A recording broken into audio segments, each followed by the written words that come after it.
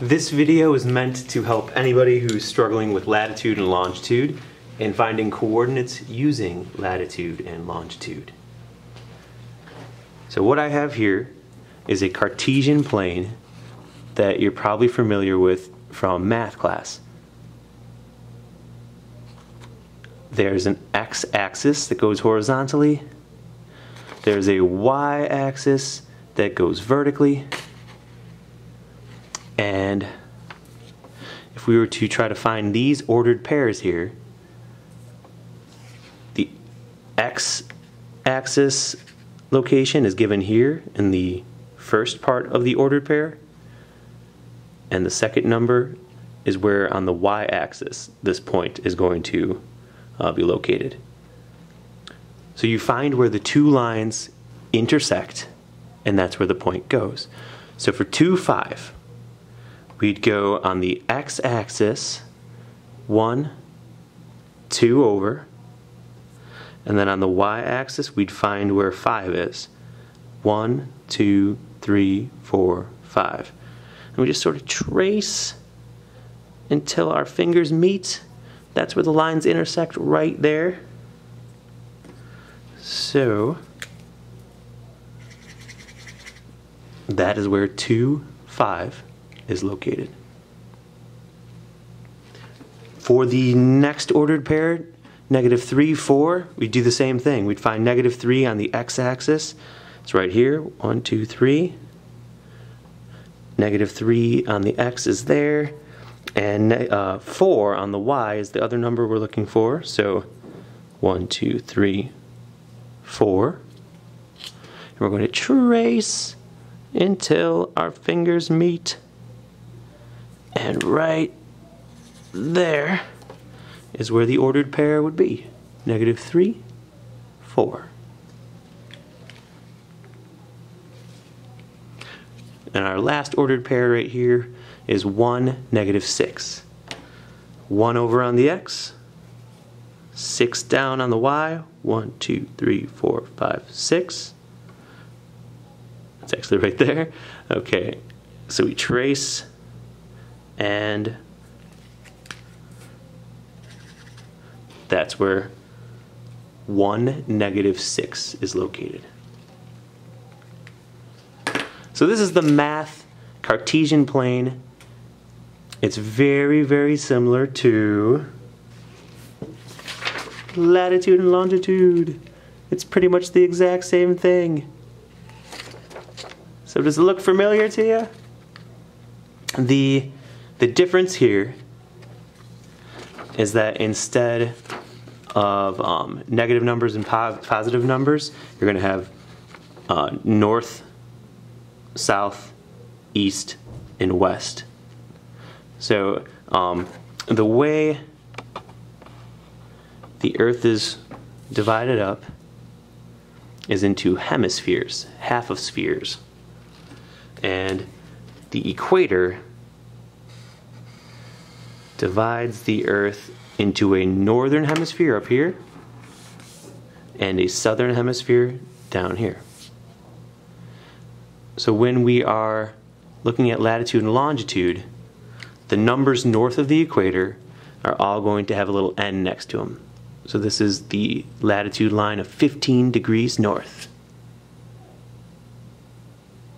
And this is 30 degrees north, going all the way up to 90 degrees north. On the south side of the equator, you have the southern hemisphere. And so these latitude lines say S, 15 degrees south, 30 degrees S, 45 degrees south, all the way to 90 degrees south. Then the prime meridian divides the Earth longitudinally into an east and a west side. So all the numbers over here to the right are going to have an E for east. All of the numbers over here, the, all the longitude lines going this way are going to have a W for west. 30 degrees west, 60 degrees west, goes all the way to 180 degrees west.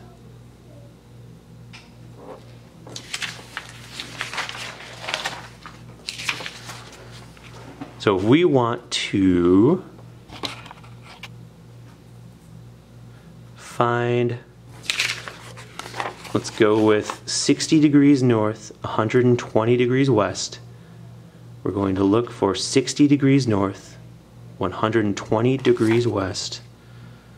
There's 60 degrees north, 120 degrees west is there, and we just kind of trace those lines until your fingers meet right there. So again, I'm just tracing the lines, latitude, longitude, until our fingers meet right at that point. So that would be where 60 degrees north, 120 degrees west is located. You could also take rulers or any kind of straight object and sort of place them on your sheet at those points to see where they meet as well. I've seen people use rulers to do that. I've also seen people, and I myself also, um, draw little dotted lines. And where those dotted lines intersect shows me where the point is located. 60 degrees north, north 120 degrees west. The next point here is 15 degrees north, 30 degrees east. 15 degrees north would be above the equator. 30 degrees east would be to the right of the prime meridian. So 15 degrees north is right there. It's written over here as well. 15 degrees north and 30 degrees east is right there. So I'm just going to trace the lines until they meet and they intersect right there.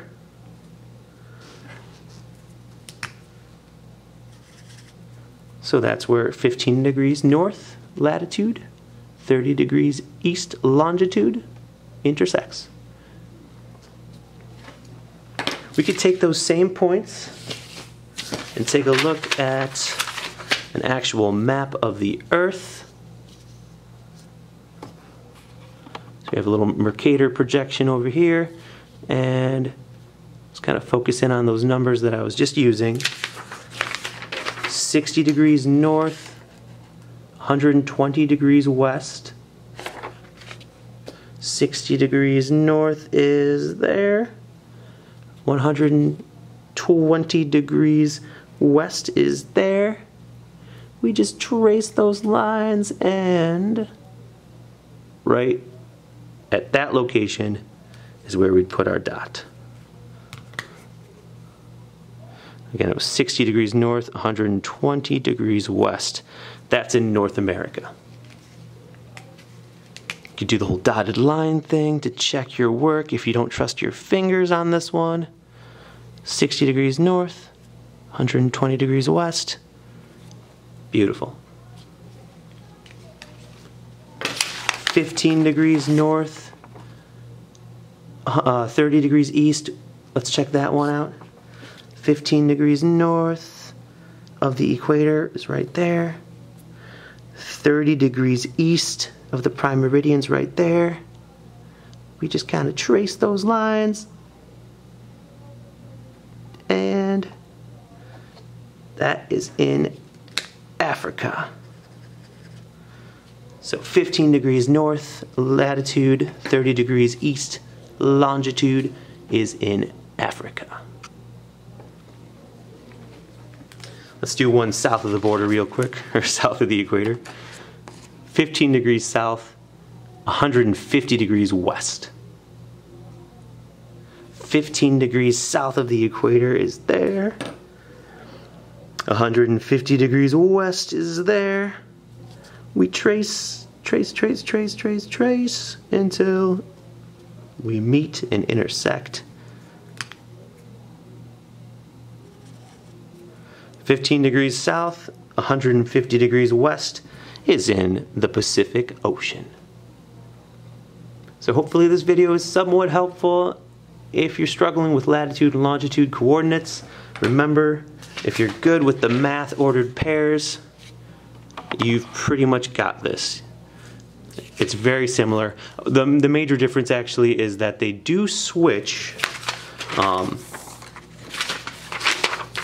they do switch which comes first. So which number comes first? So in math, the ordered pairs have the x first and then the y. In social studies, they go with the latitude first and then the longitude. So um, the numbers are sort of reversed, if that makes sense. Um, but that's the only major difference you'll see.